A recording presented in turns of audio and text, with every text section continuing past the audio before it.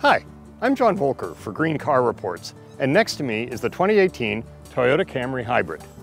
More than 10 years ago, Toyota launched a new category when they added their hybrid powertrain into their Camry midsize sedan.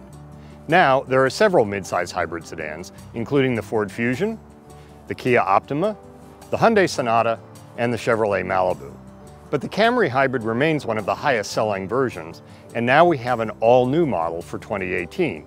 We've had a chance to drive it, to discuss among ourselves where it improves on the last one and where it sits in the greater array of green cars that are available now. There are actually two versions of the 2018 Camry Hybrid. If you want the highest rated fuel economy, go for the base LE trim level.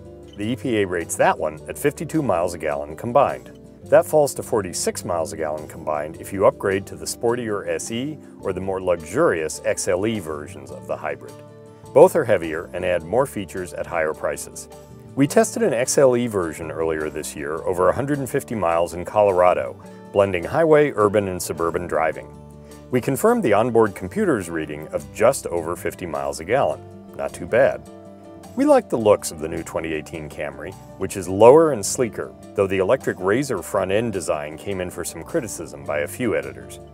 The 2018 is about an inch lower than the last generation, and we found that made access to the rear seat a bit more challenging for full-size adults, slightly puzzling in a mid-size sedan that often carries three or four people.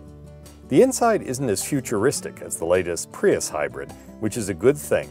It's largely predictable, with knobs for the climate control and sound systems. The 7-inch central touchscreen is bright and crisp, though for 2018, we think there's really no excuse for not including Android Auto and Apple CarPlay, they let a driver safely use a smartphone as a navigation system, not to mention streaming radio and other apps.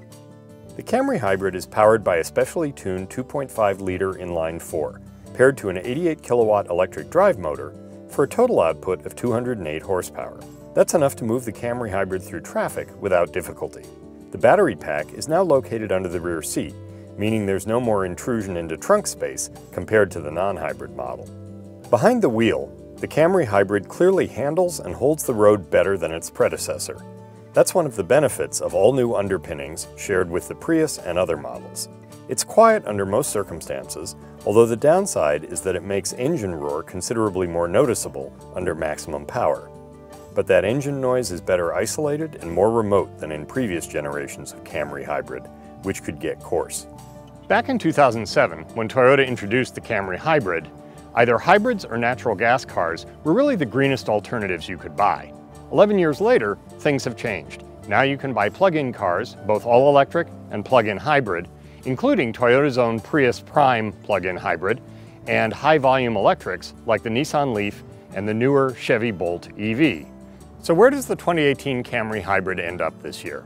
We think it'll be bought by a lot of buyers who treasure what it's always provided, a good, reliable, predictable midsize sedan that delivers high fuel economy. In this case, the highest fuel economy in its class at 50 miles a gallon. But these days, the Camry Hybrid is simply not as green as it used to be.